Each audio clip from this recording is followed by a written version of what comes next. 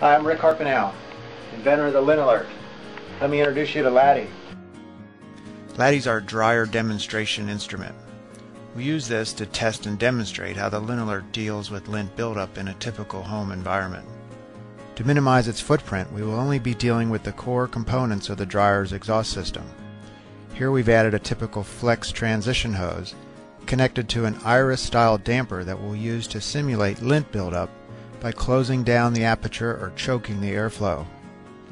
Here we've teed off the tubing to display the analog pressure levels with an industry standard Magnehelic gauge that quickly indicates low air pressures up to 2 water column inches. In order for the LintAlert to accurately monitor the air pressure levels in the specific dryer's exhaust duct, the device needs to be calibrated to your particular system at a like new or very clean state. In technical terms, a clean value must be recorded to memory in order to determine the proper interval proportions. These intervals are then progressively illuminated over time through the LED light bar. Let's start with demonstrating three different calibration attempts of the LintAlert.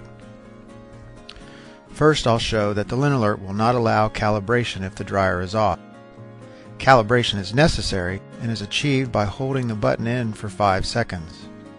In this case, since the dryer is not running, the LED light bar displays LEDs 1 and 2 which indicate no pressure found and will not allow a calibration. Next, I'll attempt a calibration with a simulated clogged duct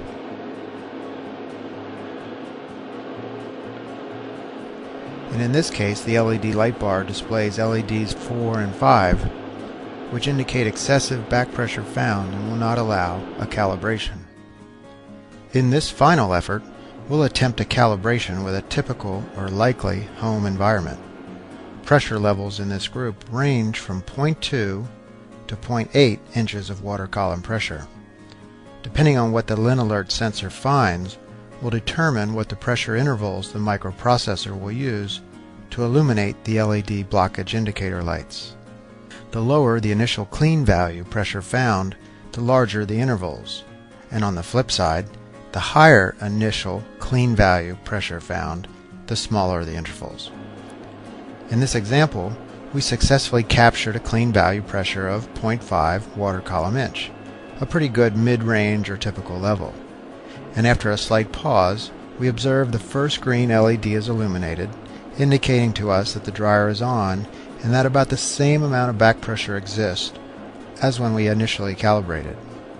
As I choke the airflow by slowly closing the aperture, you'll observe in some unison that as the gauge needle rises, so does the blockage indicator light bar. If I turn off the dryer, the light bar goes out as no pressure exists. Upon restarting the dryer, the Lint Alert reveals that the same levels of back pressure still exist in the system. Over time, as lint continues to build up, so will the blockage indicator until the final stage, which includes the combination of blinking lights and audible tone. The audible tone can be muted with a single push of the button.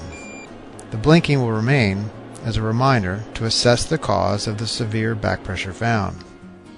Once the back pressure has been relieved, most likely accomplished by cleaning out the exhaust conduit or termination hood, the Lint Alert can be recalibrated. If the alarm state was accidental, perhaps the kids were interfering with the termination hood, simply power cycle the Lint Alert.